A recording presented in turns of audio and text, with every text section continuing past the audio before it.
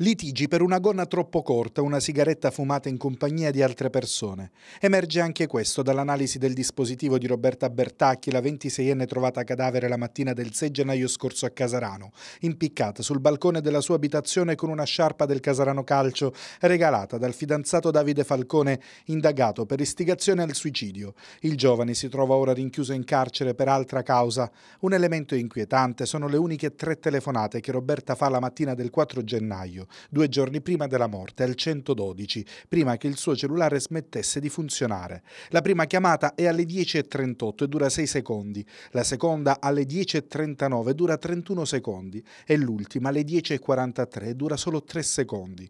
Poi alle 10.45 apre la chat con la madre e prova a registrare una nota vocale che però viene cancellata e purtroppo non è più recuperabile. Perché Roberta chiama il 112? Cosa voleva dire alla madre? E come mai il suo cellulare proprio in quel momento smette di funzionare, la perizia depositata dall'ingegnere informatico Luigina Quarta, perito incaricato di parte, ha messo in luce una relazione sentimentale segnata da una gelosia ossessiva e comportamenti aggressivi da parte del fidanzato. Non mi rispondi, stai con un altro e ancora, sei stata una falsa, non mi hai mai amato, scriveva Falcone, mentre Roberta cercava disperatamente di salvare il rapporto.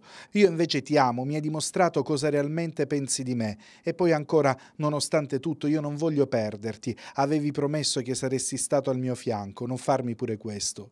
La sera prima di morire Roberta aveva avuto un violento litigio in un locale con il fidanzato alla presenza di testimoni. Stessa cosa era accaduta qualche giorno prima, proprio la notte di Capodanno, quando lui accusa Roberta di essersi vestita in maniera appariscente e di aver fumato con altri. Proprio quella notte la ragazza implora Davide di tornare a casa, anche perché pioveva, altrimenti sarebbe stata la fine della loro storia. Intanto quanto la famiglia Bertacchi alla luce della perizia tecnica assistita dagli avvocati Luciano De Francesco e Silvia Romano continua a chiedere verità e giustizia per la figlia.